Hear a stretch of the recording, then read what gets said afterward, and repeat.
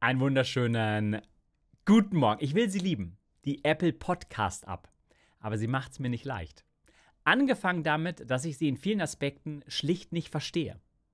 Und mir ist nicht so ganz klar, wie diese vorinstallierte Standard-App, wohlgemerkt auf weltweit jedem iPhone, doch so unzugänglich ausfallen kann. Anyway, vielleicht bin auch ich das Problem, deshalb ist dies der Versuch, mir selbst Apples Podcast-App zu erklären.